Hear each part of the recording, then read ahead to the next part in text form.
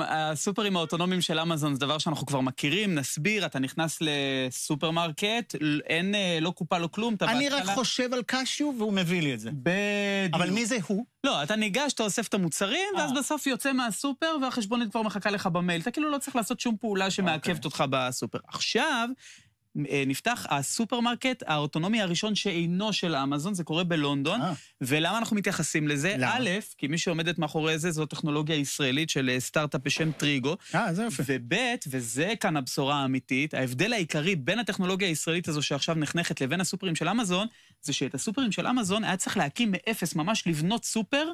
כדי שהוא יתאים לטכנולוגיה של אמזון. זה סופר קיים. כאן, הטכנולוגיה הישראלית בעצם אומרת, אני יכולה לקחת כל סופרמרקט קיים, ולהסב אותו... להיכנס למכולת השכונתית שלי? מה זה? כלומר, להיכנס למכולת השכונתית הקיימת. לא הייתי בונה על המכולת השכונתית, אבל הסופרים הגדולים, בואי נאמר, רשתות השיווק הגדולות... מעניין, ולהתלבש עליהם. אולי בקרוב זה יהיה גם אצלנו, בינתיים בלונדון. יפה. מעניין. טוב.